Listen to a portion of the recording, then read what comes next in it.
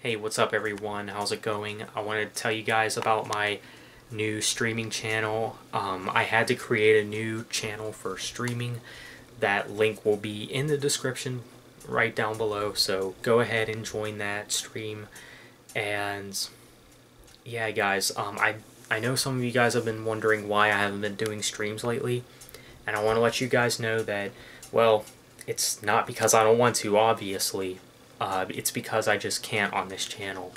I don't know what the problem is, but um, when I go to the live webcam option, it just says it's unavailable.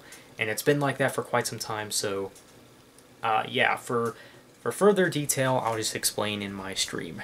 so go ahead and enjoy that. Uh, thanks so much. Take care.